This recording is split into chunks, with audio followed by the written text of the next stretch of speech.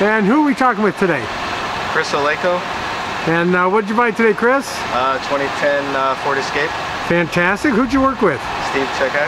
And this isn't your first time with Steve, I heard? No, this is the second. Fantastic. So uh, Steve treated you all I trust? He was awesome. Would you recommend Steve and Axelrod to your family and friends? Yes, I do. All right, thank you very much. You guys enjoy your new Escape.